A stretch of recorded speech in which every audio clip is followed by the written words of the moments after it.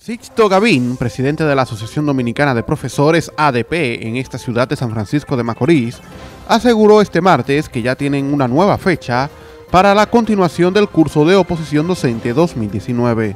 Bueno, así es, luego de, una, de varias reuniones, varias jornadas de la Comisión Bipartita de la ADP y el Ministerio de Educación, en la que se enderezaron eh, entuertos y eh, situaciones que habíamos denunciado de contenido de la prueba, así como también de la plataforma, se acordó de manera conjunta reiniciar la convocatoria al concurso a partir del día martes 2 del mes de julio.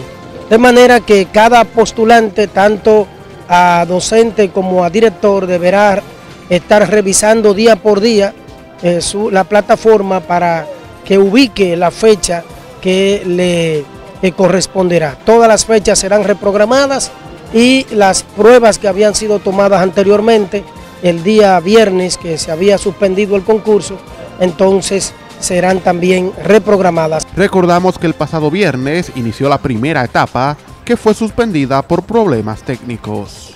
Esperamos que con estos acuerdos y con estas correcciones que se hicieron, quienes manejan la plataforma eh, pues estén realmente pendientes a ella. La ADP estará con sus técnicos, estará participando con sus delegados y delegados técnicos también, dando seguimiento paso por paso a esta convocatoria a concurso que reinicia a partir del 2 de julio.